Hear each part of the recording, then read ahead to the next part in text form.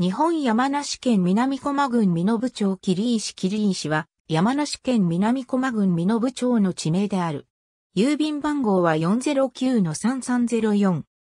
富士川と赤石山脈の間にあり、縦に細長い町並みが続いている。古くから海野国と駿河国を結ぶ水州王冠の宿場が設けられ、現在では美濃部長の役場が設けられている。川と山脈の間にあり、特に南側の妖怪市場へ続く道は非下り道と言われ、当地区は昔から交通の難所とされている。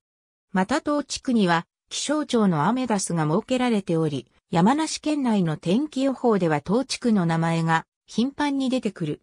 江戸時代の海野国史によると、梶風宿から2里26町、下山宿から1里23町にあると記述されている。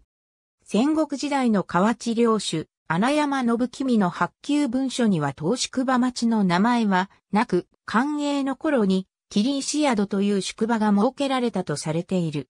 北側から上宿、中宿、下宿と縦に細長い宿場町であり、中宿には名主宅を兼ねた本陣が設けられていた。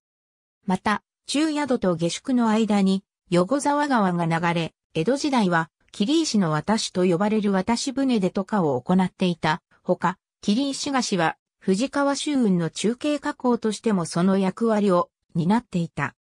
1872年に実施された県内80区制において、駒郡、桐石村となり、1889年に周辺の手打ち、沢村、寺沢村、横沢村と合併し、南駒郡、桐石村と名前が引き継がれたが、1892年に静川村に改称されている。1954年の昭和の大合併で南駒郡中富町桐石となり、さらに2004年には、美濃部町、下部町と合併したことにより、南駒郡美濃部町桐石となり、現在に至る。